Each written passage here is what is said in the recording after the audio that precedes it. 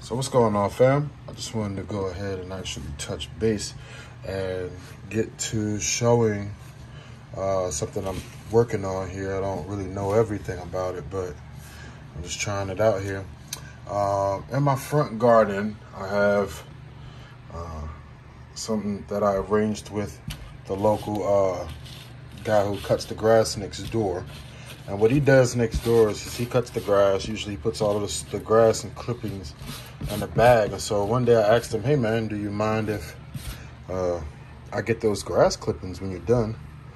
And so I did, and he gives them to me in a plastic bag wrapped up.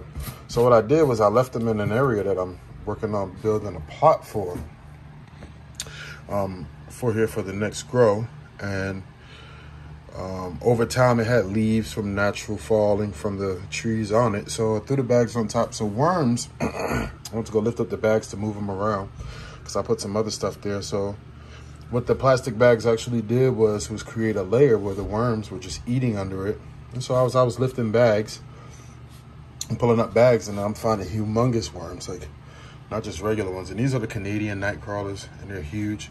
They're literally just sitting inside of a bed full of uh, ProMix HP, and the ProMix HP has a lot of uh, perlite in it, but it has also has a lot of uh, peat moss. And so what happens is, is the worms, they'll sit in here and just keep eating the peat moss. And now I added water into this, and I'll probably put about a gallon in it uh, from the shower, from the shower mister. So, you know, it's not really like heavy, heavy. You, know, you can lift it, but the soil is moist, and it's not super wet, but it's moist. And so the thing about it is, is that I've folded and some layers are getting moist from other places and I'll keep this moist as time permits. But I put uh, some ingredients in here because I was kind of creating just my own living soil. Um, because I've seen living soil products online. Here's another worm.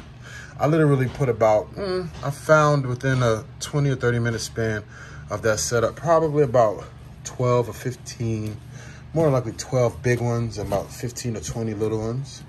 And so I should be able to find worms within nice handfuls of the soil. I'm just kind of moving them all around. You know, they're all just getting used to the environment, learning it. And so worms will eat that peat moss. They'll just eat it up. And so uh, I put a insect frass uh, in here. I put kelp meal in here. And I put kelp meal, insect frass. I would have wanted to put my worm castings in here, but I already have worms, I mean worm castings in the bag. So I really was like, hey, this is a living soil, how can I make this soil as life possible? Like how much life, you know, I could give it organic matter and yeah, life will form. And I'm gonna keep this closed. But what will make it really really living soil. And I'm the only thing that I know how to make it living is to put life in it. And I went outside and got some worms, and this is my living soil. This is the soil that I have as a living soil, and there's life in it. And each worm will eat its weight uh, its its size and weight. I believe Canadian night crawlers in a good environment can eat their size and weight every two to three days.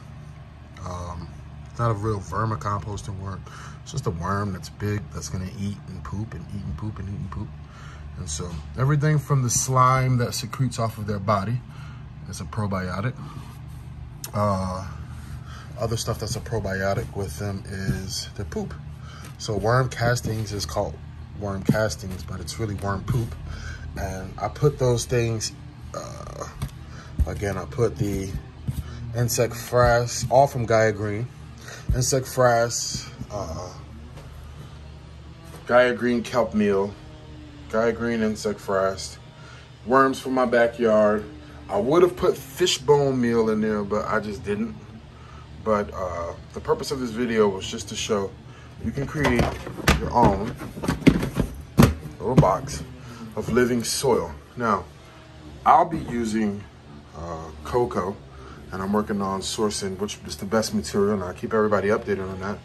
But in a regular Tupperware, you can have a big bag of ProMix HP, uh, which is 70, you know, I got a 3.8 cubic feet. So it's pretty big, it's huge. Um, it breaks down, it's compressed. So it is a lot of, of uh, beautiful peat moss with uh, uh, pumice uh, in it already. Sorry, not pumice, freaking the white things, man. Oh, perlite, yes. Perlite, peat moss, and uh, dolomite lime to their recipe. It's a great uh, worm food. Uh, the worms will eat everything from the mite, from the little pieces of lime to the peat, and just keep eating it and turning it into worm poop.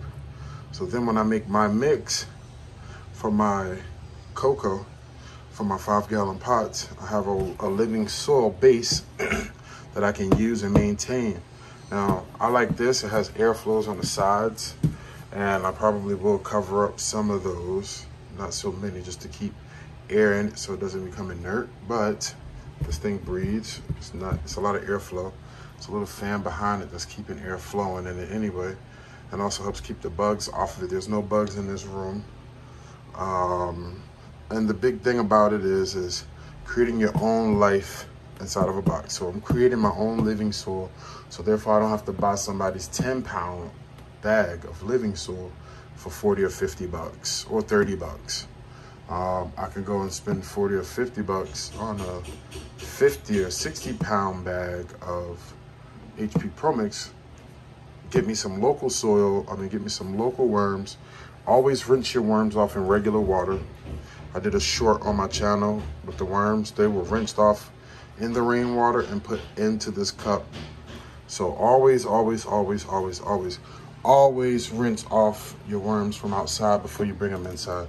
Bugs, mites, all types of stuff can get in there. You just want to keep it safe.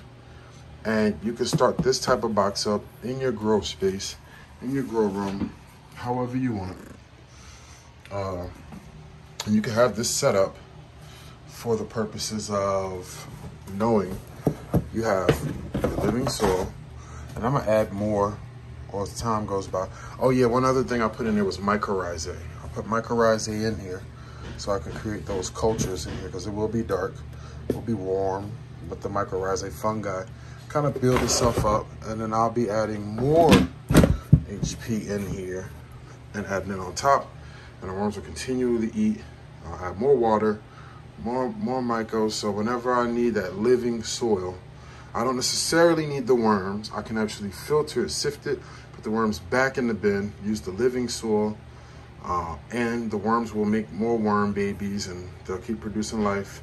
And I'll use that soil with cocoa, with Gaia Green products to make my mix for my super cocoa for my soil.